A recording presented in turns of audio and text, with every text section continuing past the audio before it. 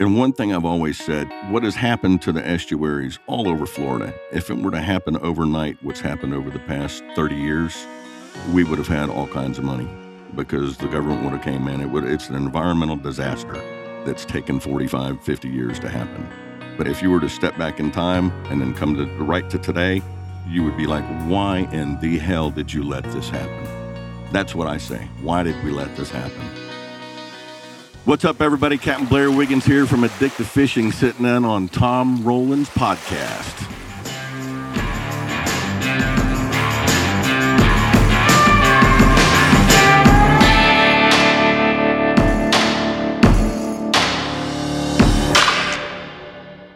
I've always been a fan of our next guest.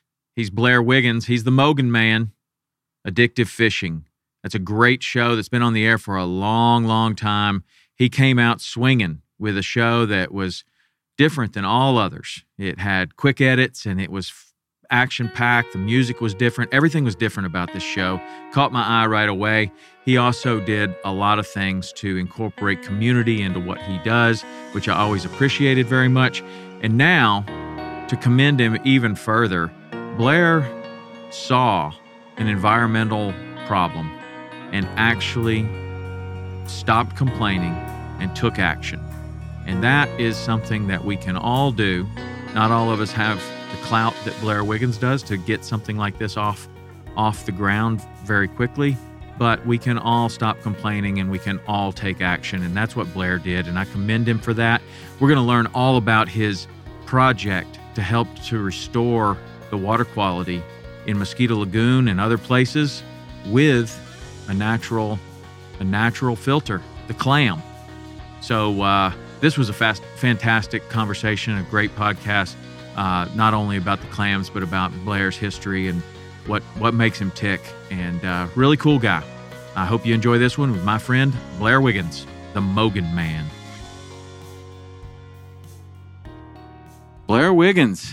What is happening? Man, thanks for doing this. I really appreciate it. Glad to be here. Glad to be able to tell everybody about a clam or two. You're a busy uh you're a busy guy here at the ICAST show. You've been uh you've been here doing this new project about clams. Yep, kind of jumped into it uh 2 years ago. I was doing a tagging program with Lisa Fitzgerald from the CCA and went to my home waters of Mosquito Lagoon. And, you know, I'd, I'd fished there, you know, growing up my whole entire life. And the grass flats were absolutely incredible. And we went to an area where I'd normally kind of go and catch 40 or 50 redfish any given time of my life. And uh, we went to certain spots and fished for two days and we caught two redfish. Wow. 16 inches. And there was no grass on the flats. The water was dirty. I mean, it was just, it, it looked like a cesspool. And like, with all the government studies that have been done, the studies doing the studies, studying the studies, and all the money that they've raised, nothing has been done to the Indian River Lagoon system, at least to two years ago.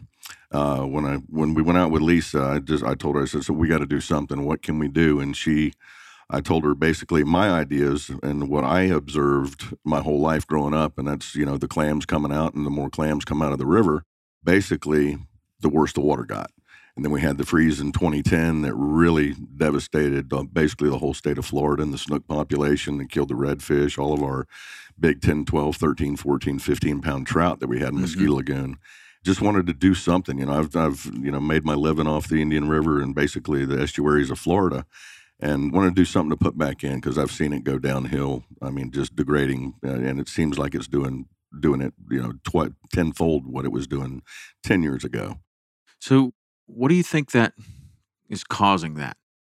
To be perfectly honest, stupid people, because they let we have such a small estuary in the Indian River Lagoon system. Back in the 90s, they let uh, commercial clammers come in from all over the United States where they have devastated their clam populations. And they came in, and you, you know as well as I do what happens when commercial fisheries come in to a small area. They devastate it. I mean, there's, there's, there's no denying it because you know, I saw it firsthand. I've seen it with the fisheries when, you know, when redfish, you're allowed to keep those. And the gill nets when I was a kid, the more gill nets that came in the water, the more fish were gone. And just like when they had 10,000 clammers out there in the river, raking it with, you know, two foot long steel rakes and ripping up all the grass. And they're claiming they're not ripping up grass, but every morning when I'd get up and go to the uh, boat ramp, there'd be grass everywhere. And you could tell it's been dug up by the roots and the clammers. But uh, I saw probably two to three million clams come out of that river a day. Wow. There was literally 10,000 boats on the Indian River Lagoon system and everybody out there raking the clams and we're tearing up the bottom. And uh, when the clammers started disappearing, that's when the water just started degrading, getting worse and worse and worse. And, And- so the clammers are disappearing because there are no more clams. Yep. They've fished it out and they're they're moving on to another place. Moving on to another place. And what happened is when I've learned so much about clams working with Whitney Labs, University of Florida, and those guys up there that clams have to have a certain number in a certain in an area to reproduce. To um, uh, sus- sustainability is what they were telling me. And if you don't have enough clams in there, they're never going to bounce back and recover. And they've just it's just been degrading ever since the clammers left. And uh, what we're doing, we're working with uh, with CCA, FWC, University of Florida, Whitney Labs. Todd Osborne up there is incredible. Uh, you know, a clam scientist. And they got a guy Jose up there. He's basically the clam whisperer. He does the breeding and the, the spawning of them. But what they did, they came down to uh, to south end of Mosquito Lagoon, and they got like 24 big breeder clams. Uh, four or five of them were good female clams, and they were able to spawn. And we've done two spawns with those clams now, and come up with six million clams Wow. the first 40,000 clams we put in the water two or three weeks ago. I think it was like three weeks ago. We put them in the water, put them in bags, and they're up in the Matanzas River right now growing. And as soon as they get up to about a thumbnail size, we'll take them, transport them back down to the Indian River. Yeah, that's Well- what I was going to ask. Like when you when you have this millions of clams, how big are they? Like a pinhead? It's like beach sand. Okay. I, in, a, in a little vial, about, you know, just a little time like a, a lipstick vial. And how long is it going to take them to get to a thumbnail? Uh, it's about six to eight months. Okay. But the, I held a million and a half clams in a little tiny vial the other day, and it was just it looked like dust in there, and dust and Wow. water, and it was it was pretty interesting to see how they were. And you you know you pick them up, and it feels just like beach sand. You have a million clams in your hand, and it just gritty, just like beach sand at Playalinda Beach is what it felt like. Wow. So what is do you know the survival rates of those million That's- clams or I mean that's this that's what this money it's is. the going wild, to. wild west right now, right? It's the wild. Well, what they've done, like I said, the, the the clams that they've done with the six million that we've spawned already.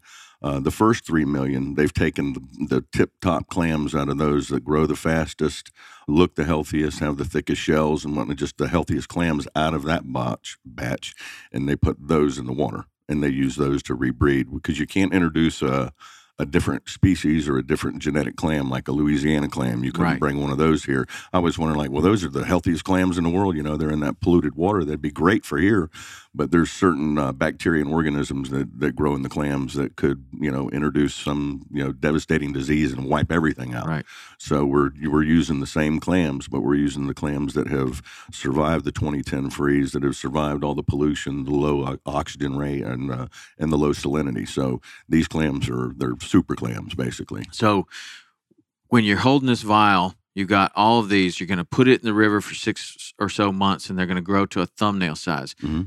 Then what then what happens? Like uh, you have some sort of a mat that you grow them on or Well, or- it's a it's a bag that they go into till they get that big. They go into the bag about the size of a pea, and you put them in the bags and cover them up with the mud and just let them sit there and grow for you know four or five months, and they'll get about the size of your thumbnail or about the size of your thumbprint, and then we that's where we're going to let them go. Okay, so go- you're just gonna just, just let them go. There's no more growing after that. You get them to that size, and then just then they're on their own. All the little so babies are on their own. do you just own. pour them out in a big pile, or you you kind of Well, you seed them want- all over the place, or what? you want to kind of keep them concentrated so they will be in the same area. So when they do get big enough to spawn, they're going to be able to have the, the they're not spats. I'm, I can't remember what they're calling it, but the little baby clams. Yeah. They have to be able to, like this, the sustainability I was talking about. You have to have a certain amount in a certain area. So what we're going to do is start an area and just like every week, every month that we can, you know, put 40, 50,000 clams back in the river. That's what we're going to do. And it's, it's going to be kind of a secret location right now where we're going to be putting them out because the regulations for the clams, you can still go in the in the river and clam if there was clams. But you know, with the water pollution and whatnot, I wouldn't want to eat the clams from out of there anyway. But we'll just constantly keep putting them out every month, is you know, until until we're done. Right. And there is no being done in sight either. I'm trying to you know keep this going and going and going. Do any of these scientists have any kind of a forecast about, well, you know, we're putting out six million this year or or whatever that number may be. Once we get to two hundred million, we should be kind of you know, at a at a at a good point there? I mean, like, is there a goal number to get to? Well, our first goal was basically to get the project started. Yes. and we got we came up with they needed a hundred and twenty thousand bucks to start the project. That was to build the the races, which is where they they basically seed the clams, fertilize them, and get them started. So we used that money and. I mean, just whatever the scientists need the money for, and it's just going to be a continuing, ongoing project, just like a, a fish hatchery that they do up north. You know, that's you know they release twenty thousand you know little fingerlings in a lake every single year that's not stopping they they do it all the time you know that that money is always going to that fishery So really, getting it started was the biggest. yeah that was the challenge. biggest step So you, as a television host and a fishing guide and an angler and a concerned citizen, you just kind of have this idea. You you talk to some of your friends, Lisa and and whoever else. How how then does does this get off the ground? I mean, you come with some clout, so you're at a head start. But there's people all over the place that have environmental concerns, whether it's like the Captains for Clean Water guys that I mean, this is happening right in their in their bread and butter. I think it's important to try to understand how that how somebody takes action like that and gets something off the ground. Like what did it look like for you? Like you just talk about it like you just skipped kind of right to the I raised $120,000 and got it started, but there's got to be a lot of red tape and well you got to convince somebody. it's con- well convincing and basically just telling my story is what did it you know growing up there in the in the banana river from ever since i can remember you know crawling i was in the in the river and just seeing it that way and telling my story about how i've seen it disappear over the past 45 years uh, in my backyard and with the sponsors that i have for the show um, Dick Sporting Goods kicked in a good chunk of change, and a lot of my sponsors, Starbright, Startron, they kicked in a lot of money. Anybody that's ever fished the Indian River and have seen seen it 25 years ago and then see it today. I've got you know my old clients that I that I would used to take out when I was a fishing guide. Uh, they came back and I'd send them out with uh, my buddy Travis Tanner, who was my partner in the FLW. But uh, I'd send them out with him, and they come back to me. They're like, "Man, what happened to the river?" And I've, I've been hearing this for for 15 years. What's going on with your river? What's up with the fish? Where are the fish? So I basically went to went to CCA. We sat down with the the scientists and head guys at FD, FCA, and we basically got it off the ground. And they needed money, and the big corporate sponsors that I have for the show kicked in quite a bit of money to get it started. And then we got a grant as well from the state. And now that now that now that it's kicked off, we got Texas looking at us. We got Louisiana. Um, and all up and down the East Coast, you know, Georgia, South Carolina, North Like Carolina. and they're saying what you're doing might work Yeah. where we are. Yeah. That's cool. And they have the, the big clam operation up in Steinhatchee. I don't know if you've ever been up there, but they have a, a huge clam operation. They get their clams down from Harbor Branch down in Fort Pierce, and they ship them up, and they're they're growing them the same way, but they're doing it for a commercial resource and for eating clams. And all we're doing is growing them to put them in, back in the water to get our water quality back. So they already have the clam the clam growing happening, but it's all for commercial. So we're just putting them out there for the public, really. I guess. Is there any, um, you know, when you're bringing all this to the attention of the FWC and CCA and all that, is there any, what's the status of the clamming industry in your area now? Can it be closed down? Can people say, we're going to try to work on it to get it closed, you know, for a certain amount of years. But you know, I enjoy going out, you know, getting clams and you know having a little clam bake on the beach. But um, as long, I think if they could sustain themselves, as long as the commercial guys and they they regulated, it was unregulated. It was the wild wild west out there when it was, you know, in the middle '90s. You had to get to the boat ramp at like four o'clock in the morning just to get a parking space because, I mean, and and then you hope you don't get broken into because a lot of the clammers weren't the best people in the world out there that were out there tearing our rivers up. And so it was it, it was just a big mess and everybody that's ever fished it and has seen that they they know what's happening out there and anybody that has anything to do with fishing in the industry uh, banana river indian river mosquito lagoon we're going to try to take this project you know and not just in the irl we'll take it over to tampa take it down south but they do have a project right now that kind of you know upsets me a lot because they're dumping a lot of money into it and it's not doing anything.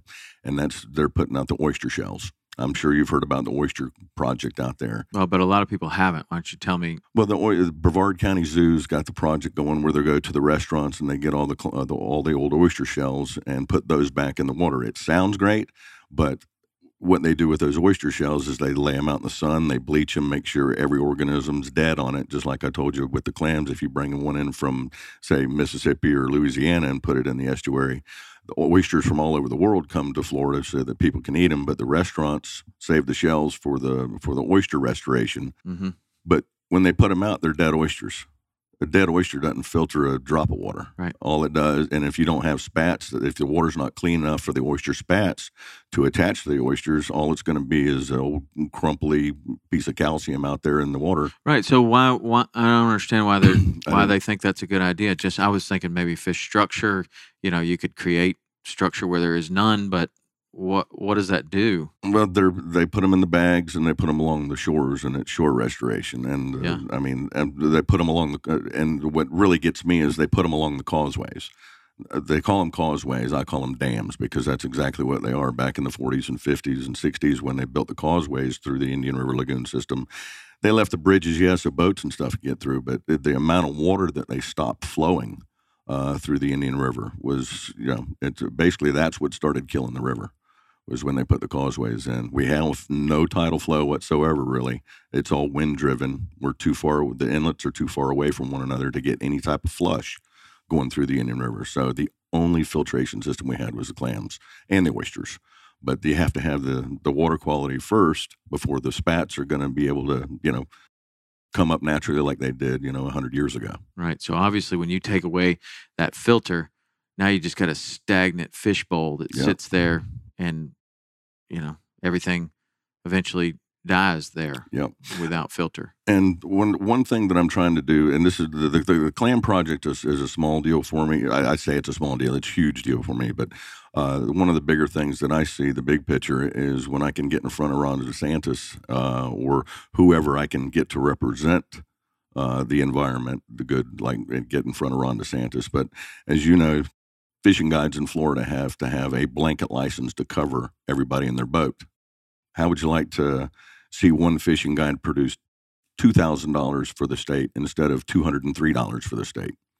And that would be like Louisiana, Mississippi, you know, Texas, you, you name it, every other state along the Gulf states and Atlantic. Even if you go with a fishing guide, except for Florida, even if you go with a fishing guide, you have to buy a fishing license in Louisiana, no matter what. If you're fishing in there, if you're fishing our waters, you're going to be paying. And Florida being sixty percent of the fishing industry, at least it was in '98 when I was doing studies and everything. But uh, if we were able to knock that license out and have people come down and pay ten dollars a day, and just to keep it simple, we'll keep it one guide does two people a day, hundred trips. There's there's your two thousand dollars, and that's that's very very low numbers and so they're leaving eighteen hundred dollars basically on the table with one fishing guide that does two hundred that does hundred trips a year with two people. So we did a little study. Uh, the guys I'm working with doing this clam project and the the amount of money that can be raised a year just on inshore fishing guides could be a quarter billion dollars.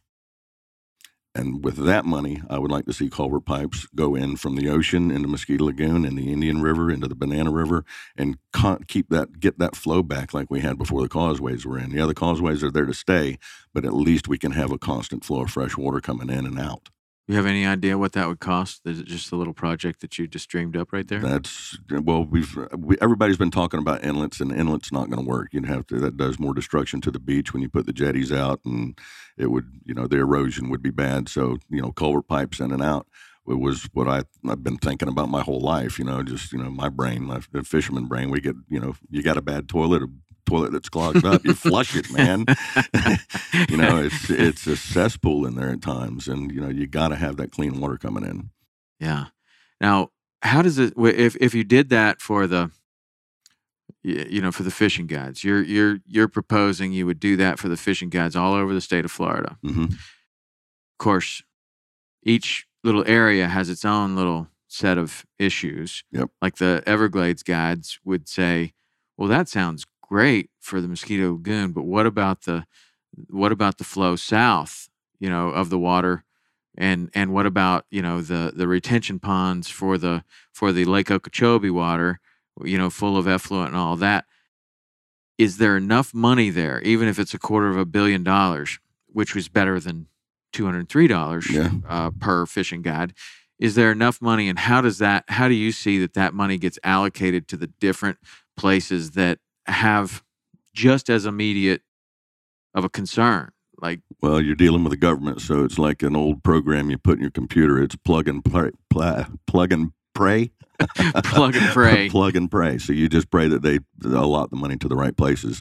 You know, I'm giving them a source right there where they have plenty of money to do whatever they want to in the environment, and it's ongoing income. It's you know everybody comes to Florida to fish, but it's an ongoing income that could be maintained. Uh, I mean, it, it create three jobs right there in one station, pumping station, for to have somebody sit there and man it. You know, I think a quarter billion dollars a year is is a pretty good start of money. Yeah, uh, it's it's better, like you said, it's better than zero. Right. yeah, of course. And then for the fishing guide, in that kind of idea, they're saving two hundred and three dollars yeah, I remember the times when it was lean. That two hundred and three dollars in January when I had to buy it could be man. That's you know that's that's it's a few dinners and groceries yeah. and you know keeping the lights on for another month. That's right. But that uh, you know, and then there's the I, I, guess with the internet and everything now, it's pretty simple. There could be an app or something that is so easy to get a fishing license. Oh yeah, I mean when you go to Louisiana, and I, I went out there a lot during the FLW, and was, of course filming shows out there. Even when I go film a show, you know you, have done it. You got to buy yeah. a fishing license. You got to. And you know you might sit there and complain about it, but you know if you want to go fish, you're going to buy a license. Mm-hmm. And uh, you know the, Louisiana's got it figured out great. They they charge you a three day license. It's forty bucks. If you want to if you want to fish any other that, you got buy you got to buy another three day license for forty bucks. You say, well, I might come back to Louisiana in about six or eight months. Might as well go ahead and buy a whole year license for ninety. So they sell they sell more ninety license ninety dollar licenses than they do three day licenses. I think because everybody wants to come back later in the year. Yeah, and some people go four days. Yeah, so they got to buy two of them. Yeah, they say, well, I might come back. You know, here's another. That's another ten bucks or ninety right. bucks. So they they have the money coming into their estuaries. That's one reason why red red fishing is phenomenal out there. Right. How do you uh, how do you see these times with the Okeechobee uh, issues and the the Everglades issues and your issues in your area? How does that compare to when the mullet, like you just kind of touched on it, that you know there used to be mullet netters all over. Oh yeah. And then CCA was really very helpful in, and so was Florida Sportsman, if I remember correctly, in changing that. Yeah, Blair Wickstrom, they, the Wickstroms did a big push for that. I remember that in 95. I had my tires slashed. I had my lugs loosened up on my truck because I had, you know, vote Proposition 5. I think it was Proposition 5 that banned the nets. But uh, yeah, sitting at the boat ramp, I'd have that in my truck there and everything and vandalized. And I was coming down the bridge one day with my son in his baby seat and my whole truck started shaking. I was like, what in the world's going on? I pulled off and my, my tire, all my, every one of my lug nuts were loose. So, yeah, there's there's your commercial fisherman for you. Well, yeah, and I know they're not all bad. I used to be a commercial fisherman. I gill netted back in the back in the eighties. Yeah, and what what made the change for you? Um, I got tired of seeing dead tarpon in my nets, and you know, dead giant trout that I'd rather catch on hook and line, and um, I just thought it, it wasn't it wasn't my ticket. Mm-hmm. So, yeah. Well, when they when you know when Blair Wickstrom was instrumental in in ban the nets, and then that actually comes to fruition. I'm sure that you can remember, and I can certainly remember when, man, catching redfish was really hard. Yeah, I mean, catching you could go catch a bonefish way easier than you catch a redfish. Yeah, and a redfish, just seeing one was a was a big deal. And what gets me excited, and what always when I when I see what you're doing and I see what Captains for Clean Water's doing and I see these other people that are doing these grassroots things, it's like, man, sometimes like from the outside you could look at it and you're like, man, Florida's a mess. Yeah. But if you if you do something and give the environment a chance to do what it does and rebound, the rebound is unbelievable. And a lot of people don't don't fully understand like what happened when they banned the nets and how the redfish population rebounded to you know now there's multiple tournament series. Everybody's catching redfish. It's probably the most one of the most caught fish in the state of florida. And that i mean do you remember when when that happened and when you saw like all of a sudden oh, wow. that was that was that happened right during the height of my guiding career when I was before the show and everything, and like I said, I was I did everything I could to propose the the ban the nets, and it, it wasn't more than a month later uh, I was out guiding in Banana River, and I was guiding on some tailing fish, and I, I didn't quite recognize what the tail was when it was up because I, you know, I, it's not a redfish, maybe a black drum. No, it's not a black drum. Those are sheephead. You know, I saw sheephead tailing on the flats for the first time, and that was like a month after the net ban. And it was I was I was amazed. I was like, it was one of the first times I've seen sheephead tailing. It probably was the first time I saw them hmm. tailing.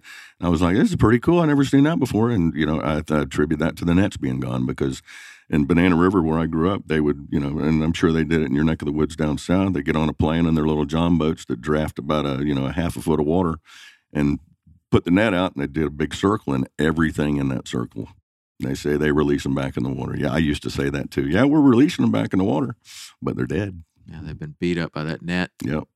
Pulled, all, you know, they pursed the net. Now you got all the weight of all the other fish on top of it. That can't be. There's very little survival. Yeah, well, I remember watching them do the gill nets, and I, like I said, I did the gill nets too. But you know, when they were releasing fish, it's like when you when you cast your net over a you know, too small a bait and everything gets gilled, you get Christmas tree. How do you get it out? You basically shake them out and you're ripping the heads off, gills out, and that's exactly what they were doing with the with the big trout and the tarpon, the little baby tarpon in there. But uh, yeah, to get the nets gone, that's that's that so was a great thing. Once that happened, how you know, obviously a couple weeks you're seeing sheephead. What do you remember about the the rebound of of the rest of the fishery? Oh, the redfish and mullet. You know, we, we had our own mullet population in Indian River. They never left. After that, after the nets, it just everything exploded. The fishing came back. It was like within a month, uh, you could see a difference in the fishing. And schools within a school, year, yeah. Well, within a year, then we had the big schools of redfish that came back in. That was around when I was a kid, and they came back tenfold. Where there was schools of three, four hundred redfish, and you know, and they're all big breeder redfish, the big thirty pounders, and and that's going from seeing almost none yeah. to seeing those big schools within a year. Uh, within a few years, yeah. Yeah, a few years. Yeah, just a few and, years. And then it just keeps getting better and yeah. better and better. Well, now it's not getting better. It's getting worse and worse and worse over there. Actually, it's improving a little bit because of, I think, the awareness of people not putting as much fertilizer on their lawns. You don't see as many bright green lawns out there, but just people being more aware of, you know, not putting crap in the river. Right. And that that is a big that's a huge thing. I mean, it's easy to to blame big corporations. It's easy to to to lay the blame somewhere else. But like if you are just fertilizing the crap out of your lawn, you're as big of a of a, a culprit to the river pollution as as the big corporations yeah. because you know you got twenty thousand people doing that might and as well own a plantation. And a lot of it's education. People just don't know. They, they think they got a nice, pr- pretty green lawn there, like Tortoise Island over there in Satellite Beach area over there is one good example. Uh, people move in, they're, oh, I'm on the water, great. Look, I see a mullet jump, you know, and oh, I got a nice green lawn. But you know, if they if they knew the devastation that they're doing because of their nice green lawn, you know, the, all those canal systems back when I was a kid, before those were, houses were built, it was crystal clear water back in there, oysters and uh, you can't even see the bottom in the foot. How do you it's, think that? How do you think that that education comes around? Because it's it's to me, it never does any good to to shoot the guy a bird. You know, that's got the green lawn sitting out there, and you're out fishing in front of his house. It's like, what are you doing? He doesn't. He's like, wow, fishermen are not very yeah. nice. I don't think I like those guys.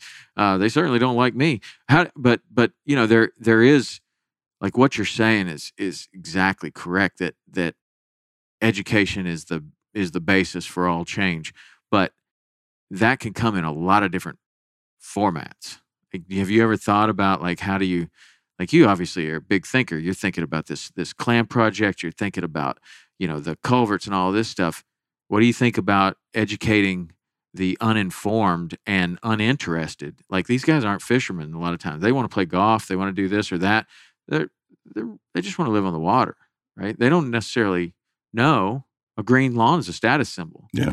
Like, but how do you how do you tell them that they don't have a life list of birds that they've seen? They don't have any interest in fishing. So that that seems to me to be the challenge. Like, that'd be a little bit challenge for sure. But I I would think if they're you know have a city ordinance that if you buy a you come in you buy a house here's here's your rules you need to follow you know, if you want to help your environment out, you want to have manatees in your backyard eating on your mangroves or whatever, here's how you can help keep it that way, or here's how you can help get it done. There's, I mean, Kent Fay over in Cocoa Beach. He works for a company, or he's got a company that he's working for. That it's a, it's. I haven't seen it yet, but I'm going over to see it. It's a machine that every every dock owner in Brevard County, any dock owner anywhere, could get this machine, and it filters water and it grows. You know, it, it uh, it's like an osmosis treatment where it it brings water in and lets clean water out and I'm not exactly sure how it works. I need to be a little more educated on it. Huh. But if if every dock owner in Cocoa Beach and saddle up and down the up and down the river put this in, on their dock, it would clean it. I mean, you know, one one every 50 docks isn't going to do it. Right. You get, it needs to be on every dock out there, and it hangs off the dock. And it seems like that could be. Uh, you know, you always got to. I always think, you know, can you bring that back to a financial thing? Could you give somebody a tax break for putting that at their dock? Could you could you somehow incentivize them or or or make it to where their property is worth more on the open market if they have that? Or is there a tax break or somehow can you tie that back to somebody that really doesn't necessarily I think just shaming them, shaming them into doing it. yeah, you don't have one. You don't I have got two. Yeah, but yeah, I th- I'm not sure. Just you know, some type of a city ordinance, and it can be done easily. Just I mean, you know, oh, here's a new city ordinance. I'm buying a house. I need to do this to my dock and make it a make it a if you're building a dock any new dock that goes in requirement have to have that's it. that's the the easy one yeah. on a new dock yeah like this is what you got to do. Or if you rebuild a dock there's there's a you have to put one of these in you know something like that. Anybody that moves into the area as soon as you move into an area maybe you're old maybe you're you know docks dilapidated whatever you got to build a new dock you have to put in one of these filtration systems. So and they're not that expensive. So i remember him telling me a little bit about it a couple weeks ago and uh, it sounded really interesting. And uh, the brevard zoo is also they they do something that a lot of the people residents over in brevard county are doing that's hanging oysters off of their docks. I know quite a few people that do the oysters on their docks but 10 oysters on a dock ain't going to do much i mean it's a great idea but it's not filtering that much water. The, the, you get the machines in there. There's up up and down the St. Lucie, you know, with that green algae problem. They've created these machines that filter the water. Same thing that could be happen up here. It's just you don't get to see the blue green algae. All you get to see is nasty water. I mean, it literally at times Mosquito Lagoon has looked like toilet water and smelled like toilet water. But, That's not uh, good. No. How optimistic are you in your in your program? when I cross the causeways and I'm looking at all that water, uh, north and south, as far as you can see, is you know four, three, you know, two miles wide, and as long as you can see, it's uh, it's, it's a lot of water to filter. And I'm like, my God, can can this be done? And I think it can, just as as long as we keep you know pumping clams in, get the filter in there, and uh, you know, hopefully, I get to see a change in my lifetime. Well, you know, in my experience, it's very limited 50 years on this planet, but when you give, it, it, you can stress the environment heavily and you give that environment a chance to respond and rebound and do what it does best. And man, nothing can do a better job. All we got to do is lay off it, man. Yeah. Like just, st- I mean, putting the clams back is obviously amazing, just stop taking so damn many. Yeah. Like, and, and just, just like the nets, like stop netting the mullet and watch what happens. Stop, you know, let the water flow south from the, you know, from Okeechobee into Flamingo and watch what happens. And I just, I, am very optimistic about it. I, I, I feel like, I feel like, you know, while, while it, it might be at a time in certain locations that it seems really bad, sometimes it takes something to get really bad to really bring awareness to it and get people super involved like what you're talking about where the city makes an ordinance yeah. about doing something like that or oh, for I'm, someone like yourself to envision this clam program and actually get it going and that's to be really commended because a lot of people have ideas and a lot of people sit around and complain and a lot of people say things like they ought to do this they ought to do that and that guy that that governor's no good and this and that man, that's not what you're doing. Yeah, I finally, you know, I, I was on that. I called it. I don't know if I can say it on there. Air say whatever you want. Uh, the bitch table. Yeah, sitting around, you know, just bitching about the environment, complaining and complaining and not doing anything. I was on that. Ta- I was on that table for a while, and uh, finally I said, "One day, nobody doing nothing. Uh, you know, time to step up." Right. So we did two years ago, and so it's coming to fruition right now. And so. that that's that's incredible. It really is because I mean seriously, so many people are just bitching and moaning and complaining. It does no one any good. It really doesn't. It doesn't do anything except make other people want to bitch more. Yep. And so now you have everybody piling on. Oh, and it's really bad. And then the traffic's horrible. yeah. And now I'm moving. I'm leaving. Florida sucks. And all it really takes is is really someone like yourself to get it going. And then for someone to see that there has been just the the one millionth of a percent improvement, being like, well, that's what I'm I'm going with this. Now you can take all of those people that were bitching and you can channel all of that aggression and anger and frustration that's all legitimate. Like this is this is your life. This is your livelihood and it is being destroyed. Of course you're upset about it. But if you can just show the tiniest tiniest bit of improvement, all of that can be channeled into Yeah. something really good. hey, it's working. Let's get more money. Right. Let's get more clams. Yeah, exactly. And and probably in that in that situation, people can see what's going on and become involved in it. Not in, not only in a way of of uh, just giving money and hoping that it goes to the right place, but you know, I mean, I'm I'm sure that there would be some way as this program progresses that that you could have tours of growing these these Oh, yeah. clams. Oh, this is what's happening. You're holding like, can you imagine the power of showing a kid? Letting them hold one of those vials and be like, "Do you realize there's six million clams in your hand right now?" Yeah, Like- that's that was that that impressed me. I was I was amazed, and uh, yeah, we're going into the schools. I'm doing you know all the little fishing clubs, even if it's a, a private school with ten kids, five kids in it. You're doing Uh, that now. Oh yeah, I'm doing that now. That's Wow. I'm scheduling out for next year. We're bringing the Mogan the big RV back, and we're going cross country, and you know, spilling our beans. Dude, that's really amazing. So I mean, here, here I was trying to wind down a little bit. then we got on Discovery Channel. I'm like, oh God, you know, new audience, and we had to step it up tenfold. So I'm I'm in it for for the duration.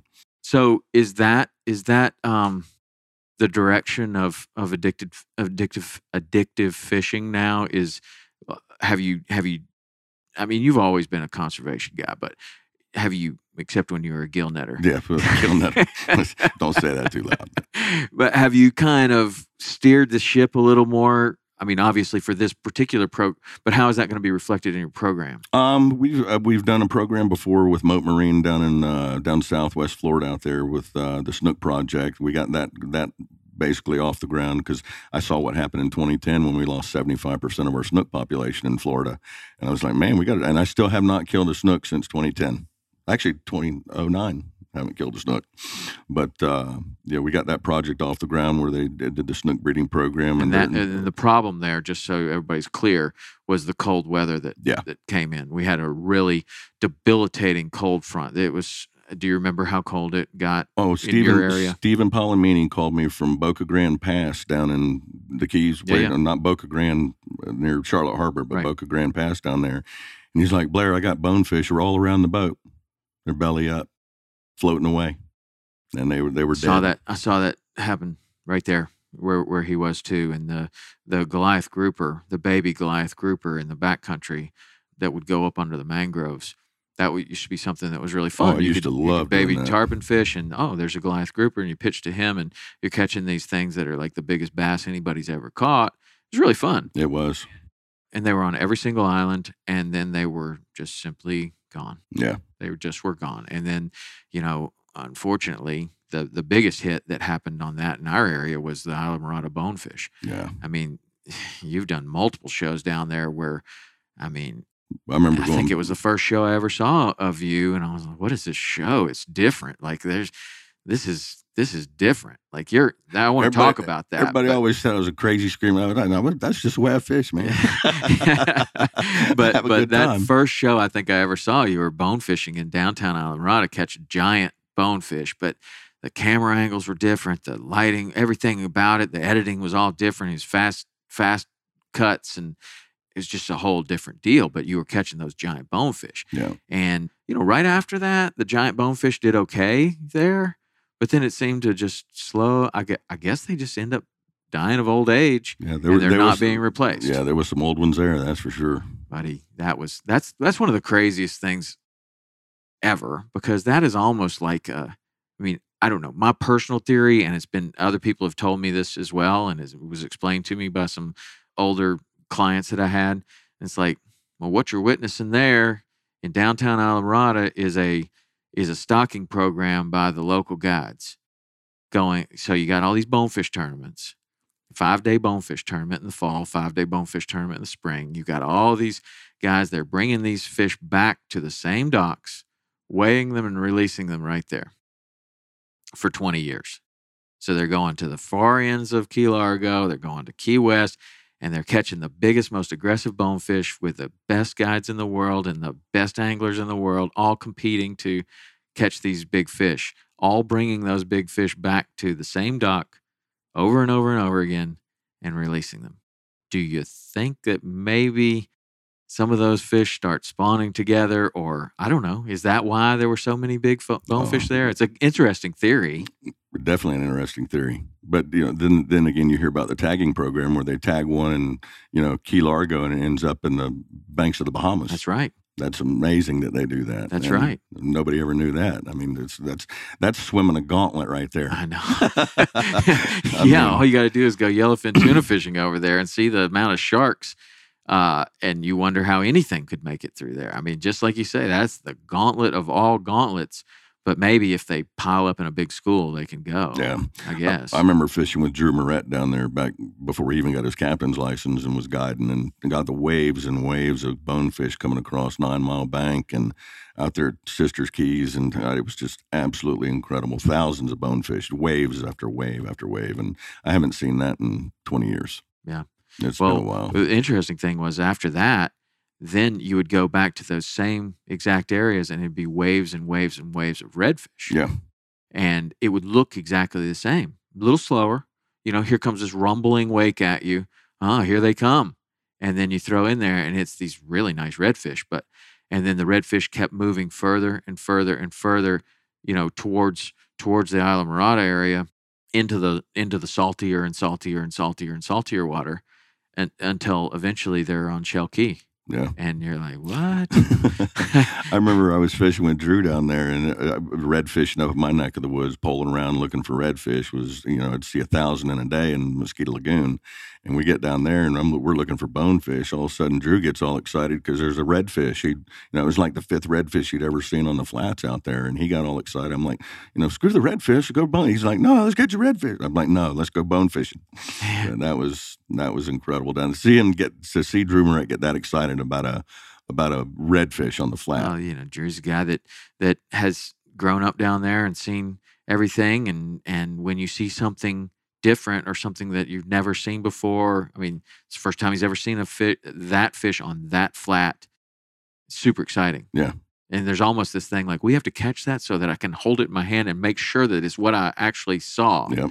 Like and but but that that certainly changed, and the redfish really piled in there. Um, and then now the bone fishing's really good where the bone fishing wasn't Yeah. in Key West. Uh, you know, I mean, there's bonefish in Islamorada. It's good. I just did a great show down there with Brandon Sear and his brother Jared last year catching. We did a slam, and I mean, just the Sear brothers. That's all I call them. yeah, that's that's uh You know, and, and one thing I've always said, you know, if if what has happened to the estuaries all over Florida, if it were to happen overnight, what's happened over the past thirty years, we would have had all kinds of money because the government would have came in. It would. It's an environmental disaster uh, that's taken 45, 50 years to happen. But if it would, if you were to step back in time and then come to the right to today, you would be like, why in the hell did you let this happen? That's what I say. Why did we let this happen? and so when you say this happened is I mean there's so many things that happen. What do you when when you say that yourself, what do you put your finger on? Why do we let this happen? pollution. I mean, why did we let the environment go to hell? I mean, it was, it's, you know, it, without the environment, we're going to die. I mean, without a clean environment, we end up dying. So Yeah. why, why do we, we're basically killing ourselves when I look at it, man? You, you, from what I've seen when I was a kid to now, like I said, if it happened overnight, we'd have uh, you know, every environmental study over with, and we we, we wouldn't be in the situation we're at today. How much of that do you think is is just the fact that there's ten times more people living in the state of Florida? I don't know. Look at the Great Lakes. How many people live around there? Very interesting. Touche. I mean, they they complained about invasive species. There's the, the zebra mussel, but I think the zebra mussel saved the Great Lakes. Huh. A little tiny mussel. Yep. You know, when it was basically Lake Erie would burn. And in my lifetime, it's back to crystal clear. I see Mark Zona doing shows out of there now, catching giant uh, smallmouth bass in 30 feet of water, crystal clear, So looking clear. at boulders. So, I mean, it can it can happen in our lifetime. We just got to get off our butts and get it done. Well, that's uh, again, man. That's what I commend you for is that you're you're actually doing something, and and there's other organizations that are actually doing something. Captains for Clean Water decided can't do can't watch this anymore. Yeah. Like, this is somebody has to do something about it, and instead of sitting around bitching about somebody doing something about it, it's like somebody's got to take what? the reins. I don't know what I'm doing. Like I can Yeah, I imagine that that's what you're saying. Like I don't know what I'm doing, but I'm at least going to give it a shot. I just do it on observations. I saw what came out when it died.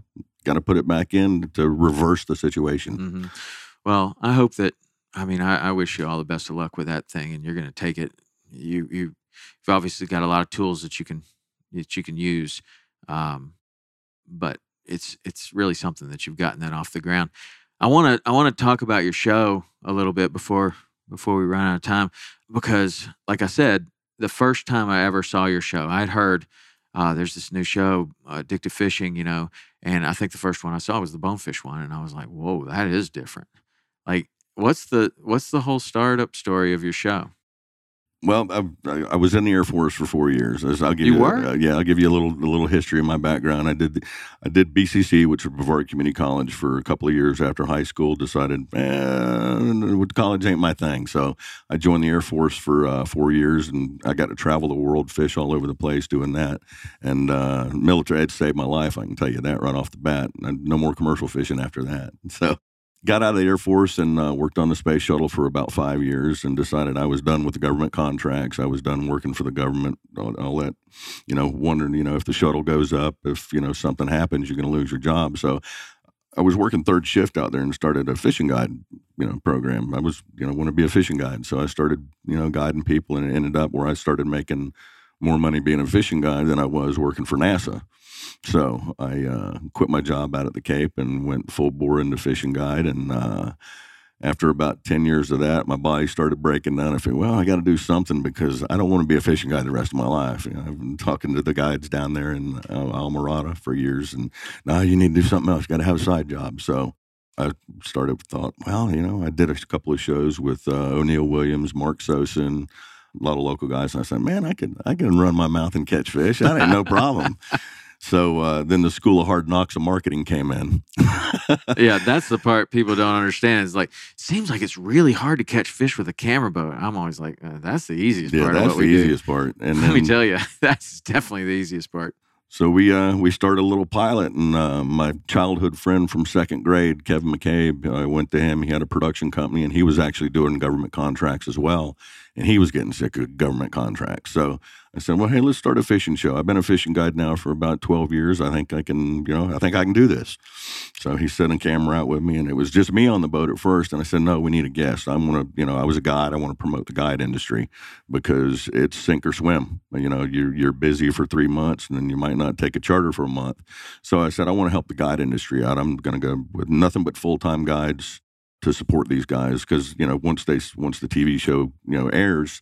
Just like what happened with me with Mark Sosin, I did the show with him. I never had to advertise again. I had thousands of phone calls from this, and uh, you know, said, so I can do this. So anyway, we started a pilot, and I just basically went out to uh, some of my sponsors that I had as a fishing guide, Hewes Maverick Pathfinder at the time, and uh, Minn Kota, Sam Heaton when he was still young, and if you know Sam, Yeah. but uh, just a few little sponsors, and I think I raised like forty grand the first year, and we got it off the ground, and you know, bought our airtime, and uh, basically the rest is history. After we hit the airwaves, our first show, it was, I mean, that was when Florida Sportsman Forum was going on, and I'd go read everybody what they'd put up, and they'd be What like, "Yeah, network that- were you on that first year? Sunshine. Sunshine. Yeah. So it's just Sun Sports on Florida. Yeah. Okay. And and then you're going to those forums uh, there. Yeah, go on the forums, and I would read what people were were saying. I wouldn't get on there and char- you know say anything unless you know somebody tried to roast me or something. and that Florida Sportsman Forum was really known for that back then, getting Yeah. roasted. But uh, you know, there was out of hundred comments, there might be one roast, and then somebody else would jump in. Oh, you're an idiot. You don't know what you're talking about. But uh, and it just kept building from there, building from there, and you know, it's Well, one of the things that I noticed that you you did, and I've I followed your career from the the very beginning, you know, because I didn't have when I first saw your show, I didn't have aspirations of having a television show. But then, of course, when I did, I look at everything. yeah, Right. So Shaw, I had the same experience that you did with Mark Sosin. I had the same experience with Shaw Grigsby. I did a Barracuda show with Shaw Grigsby. It aired on New Year's Day.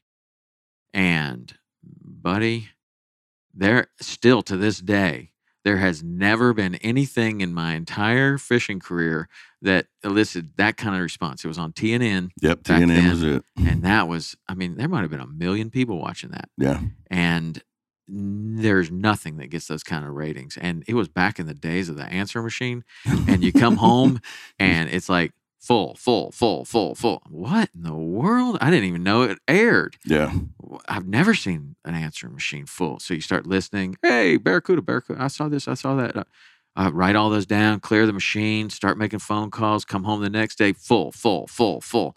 I'm gonna need a double answer machine, you know. but but I, that's where I first saw the power of television. But what I was gonna say is, I you know, in following you, you've always done a really good job of being extremely accessible to your to your following. You have these I don't know if they were weekend events or somewhere where you would go and be with all these people. Then you had your your Mogan forum, your own forum, Yeah. for a long time. yeah. We had that, and then you know, I guess everything progresses. Everything progresses. I had a forum too because you know Blair Wiggins has a forum. I need a forum too, and you know my I'm going to be different than than you because like I didn't had I didn't have as much going on as you, so I had actually time to sit down and and talk to all these people, roasting or not roasting or whatever. There was Yeah. no reason to roast me. They, they I, I wasn't on television like you were. So, um, but then it just got just infested with spam to so the point that I couldn't even control it Yeah. at all. Is that what happened to your oh forum? yeah, yeah, and you just the moderators. There was some.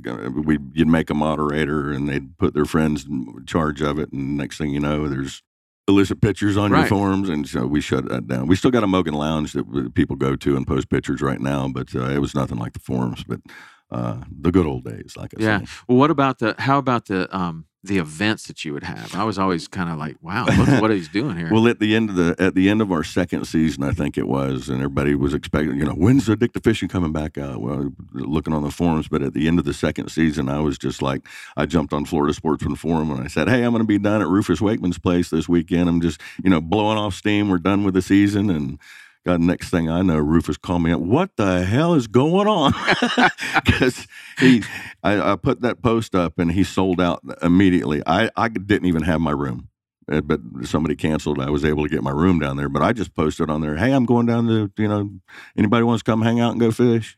And it was just something like that. I posted on the forum. Next thing I knew, it was like, boom, Mogan Mania. What are we doing? And then it, it turned into, I mean, an absolute zoo at one point. Hmm. We had uh, bands from Nashville come down and, and set up. We had, I don't know if you ever heard of Hayseed Dixie, uh, but they were a bluegrass band that uh, they do all like ACDC, Ozzy Osbourne. Yeah, they do a in remix bluegrass. and they are good. Today Yeah. they would do Snoop Dogg. Like, Oh, yeah, they actually Like, did Snoop Dogg. that- they did one of his gin and juice. yeah, Yeah, they is do that them? I love them. Yeah. I love that song. My son loves that song. Like his that that rendition of it. I thought it was somebody else, but There's there's two bands out there that did it. The Gourds yeah, did it, yeah, yeah. That's the one that, And that I've then- heard. but, everybody thought it was Hayseed Dixie that did Yeah. it. So Hayseed went ahead and did it, and Cool. it sounded just like the version the Gourds did. yeah, except awesome. with John Wheeler's voice, man. John Wheeler's voice is absolutely incredible. He's yeah. So why would why would they come to your your deal? Did you know them, or did they just were they a fan of the show? They were fans of the show. Plus, my cousin Shane was in- big in Nashville up there. Uh, they're playing a fiddle, and uh, he got to know these guys, lived with them, and you know, he, he was always telling me, "Man, you need to get these guys down here, man. You need to get them down there. Great." And so we, I ended up meeting them, and they came down a couple times, and God, it was just an absolute. We had we did it at Dockside Marina that one, and we had the band set up. It was before Dockside did all their changes before the hurricane destroyed it down there, and the Coast Guard actually pulled up out there and dropped anchor to watch the show. I don't know if they dropped anchor, but the whole basin out there in front of Dockside, people. were- It was a it was a full blown concert. Wow. I mean, it was people coming from everywhere. So what do you do with that? Like you you've got that. How do you how do you manage that? Like what do you That's why we don't do it no more. it, was, it was getting way too big and out of hand, but uh, it was. Then it turned into you know bring your own dish, and you know we kind of toned it way back. Uh, but yeah, it it literally turned into a job in itself, just getting planning that one for the whole year, and I was like, mm, Yeah. no more. at some point, you know, it pulls you away from everything else that you're that you're you're trying to do, including your family. Um, Yeah, but now what? Now what we're doing, and I'm glad you brought that up. October fifth, uh, I'm doing a fundraiser for the clam restoration project. This will be the phase two. Our first phase one, we surpassed it because our, our goal was two million clams, and now we got six. We even had to employ some of the guys up in the commercial industry of it to raise half of our clam stores because we didn't have enough room. But uh, October fifth uh, in Cocoa Beach, I'm sorry, in Cocoa, downtown Cocoa at the uh, Cocoa Civic Center, we're going to have a like a it's, it's a one nighter. It's going to be a fundraiser. It's going to be kind of like a CCA banquet setup.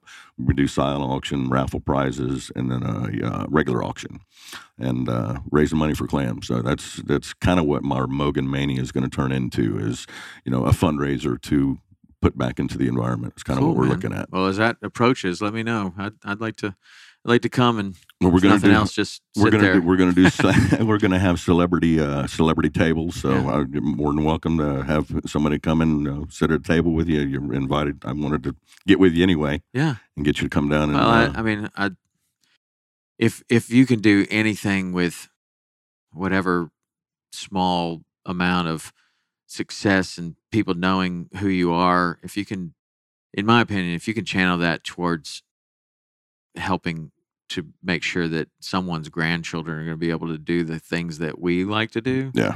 I'm all about it.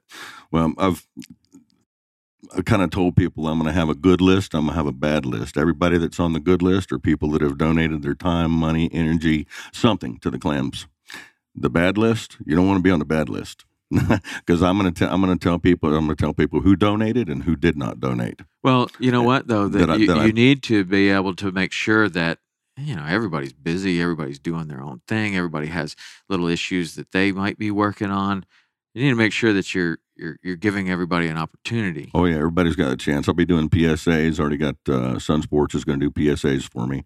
Um, news groups, uh, uh, sorry, the news channels. I'm going to get with these the news channels. They've already you know heard about it, so I just need to get my my full spiel down when I get in front of the news cameras and start talking about Somehow, I don't think that's going to be difficult for you. um, so, I still get nervous in front of the damn camera. oh, I get I mean- nervous in front of everything. I I get mean- nervous before we do a podcast. I was Oh, nervous before we started this. Are you kidding? That little light blinking in front of you, you're like, ah. Then you got to get up in front of an audience and do seminars. I always said it was, you know, I was more scared than they were because, I mean, it's like you got all these eyeballs looking back at you, and it's a lot easier with a red flashing light than. Yeah, but I can I can assure you that from the other side, because I've seen you do those things, it looks effortless and it looks like you were born to do it. And you know, and anyone that's good at something like that. But I think that if you probably ask any of those people, they just about threw up beforehand. Oh yeah, I mean, And- yes. Yesterday, I had to get up and you know the middle of the stage there on F on the, in the convention center, and just start spewing about the clam deal. Hey, Right. everybody, come listen! to You know, and it's right. Do you find that it's the hardest when there's nobody there? like uh, like for me if if we had something and your your your event there say there's 2000 people there and you asked me to get up and say something and it's a room full of 2000 people i could do that no problem but if if if they said i want you to go do a casting demonstration right now on the casting pond and there's nobody there but once you start it'll you know people that would just Yeah, tear tough. me up Oh, that uh, I had to do that at the Miami Boat Show. You know, you can't. You're not allowed to have a loudspeaker back when it was in the convention center and all that. So I was with uh, Mercury at the time, and they said, you know, you need to get up and do a seminar, get people here in the booth. What, what am I supposed to do? You know, Tell is, people anyone, is anyone going to announce me Yeah, or anything like that? No, nope. just stand up there. just get up on the That boat is and the hardest. Oh, it was tough. And oh, I got up. the hardest. I said, you know, what the heck am I going to do? Okay, I know what I'll do. Hey, does anybody want to learn how to catch more fish? And sure enough, people came in, came in, and that's and that's how I kind of start all my when I have to do that now. That, that's my line is, hey, anybody want to learn how to catch more fish? And you get one or two people Yeah, stop, and then a crowd brings a crowd. Yeah, right? But man, that is That that is scary. definitely the hardest. I, I'm with you there, man. Like, like, like you're just standing there screaming like a crazy person in the middle of the Miami Boat Show, and eh, you know if you're not wearing some kind of jersey or something, you're just wearing regular clothes. People just Oh, That's this is crazy dude. Well, this was back before. This was years ago at the Miami Boat Show, and this was before jerseys. And Right. I mean, every once in a while you see a bass guy walk. Oh, that's a bass guy. He's a bass Right, right. NASCAR. right, yeah, yeah. That was they were way out of place. Yeah, but Yeah. Uh, yeah, standing up there with just a little Mercury shirt on and screaming, "Who is this guy?" right. And then if they listen long enough, you might learn something. Yeah, but that's the hardest. So, um, you're the Mogan man. What is a Mogan? uh, it's the biggest fish of the day, biggest fish of your life. It's the, you know whatever kind of whatever you want it to be. It'd be a Mogan boat. It'd be a giant boat. Uh huh. But that obviously comes from somewhere. That's your term that you coined and made very popular. It's kind of a cross between monster and biggin. Uh, my my producer was from New York. he just couldn't say biggin, Yeah. so he called them monsters, and I called them biggins, and somehow it just it's a Mogan, Uh huh. so it just turned into Mogan. I don't know how it did, but you know, with a funny one of the funniest stories that I got after our first year, and we were uh, you know, after our first show aired, we were pretty popular. I was just amazed at you know the the response that we got. And uh, that was our first year. And then uh, Mogan Mania, we had that little get together I told you about. And it was just, you know, announcement on the Florida Sportsman Forum. This guy shows up and he's got a tattoo on his leg of, a, of a giant fish hook and the word Mogan on his leg. And I'm like, dude, you, You better hope, you better hope our show's popular one you day made a terrible mistake. ain't nobody gonna know what a Mogan is. But he, see, you know, he shows it off now, and everybody knows what a Mogan is. It's a, you know, I, I said that when I first started to my buddy who was big into bass, and uh, he goes, "Man, you need to call them lunkers." I was like, everybody knows what a lunker is. It's a freshwater bass, you know. So we don't have a name for a saltwater fish, a big saltwater fish, and so ended up being Mogan. yeah. And so people started calling me the Mogan Man. I don't know. It's just uh, it, it stuck. Yeah. Yeah. It worked for you, man. And now you've, you've, uh, shit, you might make it into the dictionary one day. Urban Dictionary. Yeah. anyway, you could right? probably be on the Urban Dictionary, but maybe not even for what you want to be on. Therefore, Another funny story. About two years after that, I was at the uh, I was at River Palm Cottages just down there for the weekend, and this dude comes walking up to me and he goes, "How you doing? My name's Bill Mogan." Uh-oh. Is there a lawsuit he goes, coming? You're using my name. I said, "Oh, dude, I'm sorry. It's just something I call fish." He goes, "Don't worry about it, man. I love it." That's funny. but his actual last name was Mogan. Wow. Was he a Uh, big guy? No, I was probably lucky on that. well, that's cool, man. Um, so you got anything else cooking? Uh, what, what what's the status of the show right now? Like, where is it? The do you- status of the show is we're on Sun Sports right now. We've been on Sun Sports for 21 years now. And uh, I think Murphy's got the only oldest show out there now on on the uh, on the airwaves. But uh, we've been on there 21 years. Just started on Discovery Channel last year, and it was a great hit for us. We're the number three show. It was, you know, like I said, I was wanting to kind of tone it down a little bit. Then Discovery came along, and they uh, renewed us for two more years on Discovery. So we'll be that 7:30 time slot Saturday mornings. Mm.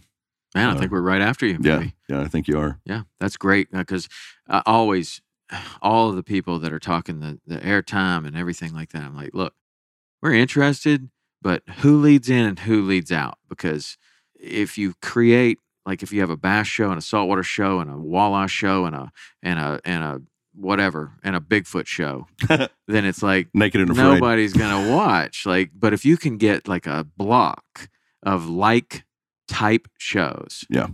Then it always does better. It does better for everyone. It does better for the network. It does better for you, for me, for for everybody. But you know, so I always liked on on on ESPN. They used to have Saltwater Saturday Yeah. or or Saltwater Sunday and whatever they did on Saturday. But it was they would put all the saltwater stuff at one time. I felt like the ratings were always better like that. Yeah. Oh yeah, and uh, plus the well, back in VCR days, you hit your recorder, you record it for three hours. That's what I did when I was out fishing. Come home at night and then watch it. Yeah. But Man, things showing my age, I? Yeah, well, things have changed. How how have you um, adapted? I mean, you were an early adopter of the internet, of the forums, of and I'm sure of social media when when that happened. But as the television habits change, how have you adapted to that? It it has definitely. Ooh, I'm supposed to speak at CCA in ten minutes. Okay, well, let's wrap it up. Let's get the. Um, one more time. Uh, I was just asking how you've Oh, adapted social to it, media and that's a lot. That's a whole other podcast. Oh my god! So you got to go. I know that. Tell everybody how they can get in touch with you, where they can see your show, what you're up to, how they can be part of this clam thing. Can check us out, especially the clam deal. It's I, uh, Indian River Clam Restoration.com, IRL clamrestoration.com. Uh, there's going to be uh, flyers at every bait shop. I mean, if You can donate money. yeah, you can donate, time. money right there, donate time. Uh, you know, like I said, the big fundraiser we're doing in October. Uh, you go to our website, addictivefishing.com. If you can't, if you don't see a poster or you don't hear about it, you're either six feet under or you're locked in the car somewhere because everybody in Brevard County is going to know about this thing coming up, and hopefully it's going to spread. Like I said, we got uh, a lot of people from around the country looking at this project, and if it works and it's a success, then I'll be a hero. All right, dude. If you it's got my not number. a success, I'll be a zero. No, you're never going to be a zero. You got it started, and you did more than more than most people do. So you'd never be a zero in my book. That's very commendable. You got my number. Text me, call me, tell me how I can be involved, what I can do. I'm more than happy to help you out. Sounds good, brother. I appreciate it, Thank you, Blair. and uh, see you on the water. All right, see you.